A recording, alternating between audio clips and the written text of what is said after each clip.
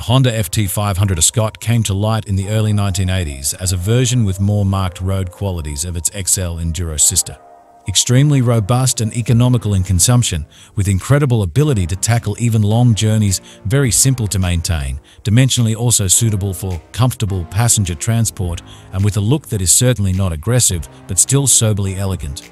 Starting from the technical base of the CMX 500 Rebel Bobber, the new FT500 Ascot distances itself quite a bit from it, as a more serious motorcycle not at all inclined to temporary fads, but of enormous substance. The well-known automotive manufacturer Honda is back in the spotlight with the emergence of rumors surrounding the launch of their newest model, the Honda FT500 Ascot.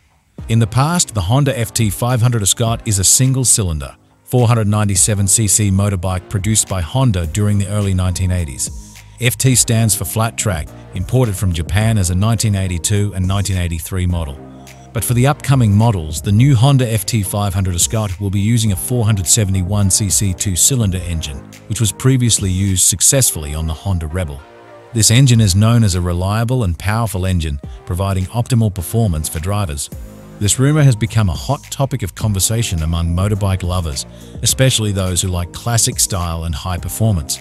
The Honda FT500 Ascot is expected to be an attractive choice for those looking for a combination of iconic design and the latest technology. Unfortunately, Honda is still keeping official information regarding the technical specifications, features and price of the Honda FT500 Ascot a secret. However, with the emergence of rendering images by Oberdan Bezzi, fans can get a visual idea of the design that this model might sport. Today we would call it an intelligent motorbike, many have survived, and after years of oblivion where many specimens have undergone horrendous mutilations by self-styled preparers to transform them into pseudo-scramblers etc. They are today sought after in their original conditions by a fair number of passionate enthusiasts. This could push Honda to repropose a motorbike that philosophically, and why not even formally closely resembles this model.